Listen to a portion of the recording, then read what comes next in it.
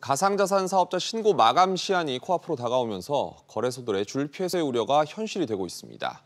금융당국은 투자자 피해를 고려해 거래소들에게 마감 시한 일주일 전까지 폐쇄 여부를 알리도록 했습니다. 김성훈 기자의 보도입니다. 국내 한 가상자산 거래소의 공지 화면입니다.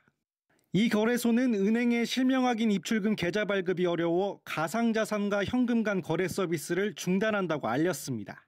추석 연휴를 제외하면 사업자 신고 기한까지 보름밖에 남지 않았지만 현재까지 신고 접수를 마친 거래소는 단 한 곳뿐입니다. 신고 요건 중 하나인 정보보호관리 체계 ISMS 인증을 받았더라도 실명 계좌가 없다면 24일부터 원화 거래가 막힙니다. 시장 혼란 우려에 금융당국은 거래소들의 투자자 보호 조치를 주문했습니다. 거래소들은 영업 종료나 원화 거래 중단 시 늦어도 17일까지 이용자들에게 이 사실을 개별로 알려야 하고 종료 후에도 맡긴 예치금과 가상자산을 적어도 30일간 출금할 수 있도록 해야 합니다.